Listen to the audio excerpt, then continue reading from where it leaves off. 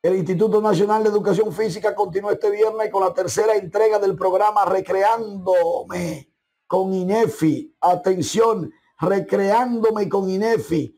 Una jornada que se llevó a cabo con la participación de 716 estudiantes, técnicos, profesores en la Escuela Primaria República de Costa Rica, ubicada en el sector Los Ríos. La profesora Regina Rodríguez, directora del plantel educativo, catalogó de positiva la iniciativa de Alberto Rodríguez, director ejecutivo de INEFI, y dijo que están orgullosos y contentos y valoran con muy, con muy buenas notas, con un positivismo único, esta iniciativa de INEFI de inculcar la práctica del deporte en los planteles escolares directamente, de ahí a ahí.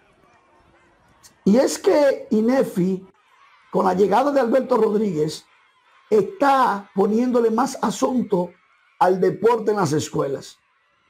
El estudiante que practique deportes le va mejor en los estudios. El estudiante que se ejercite le va mejor en los estudios. El estudiante que se ha aplicado en los deportes le va mejor los estudios.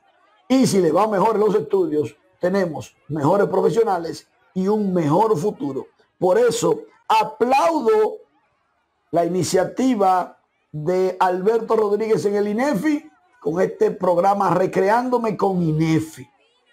Te aplaudo, te aplaudo Alberto.